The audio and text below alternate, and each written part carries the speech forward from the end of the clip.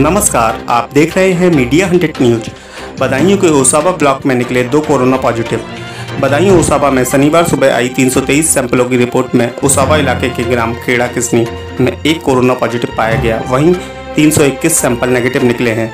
ओसाबा block क्षेत्र के ग्राम कड्डी नगला में एक कोरोना पॉजिटिव केस मिला। जानकारी होने पर उन्हें घर में ही क्वारंटाइन किया गया। उसाबा स्वास्थ्य केंद्र की टीम द्वारा गाँव और आसपास के इलाकों में 323 लोगों के सैंपल को जाँच हेतु भेजा गया।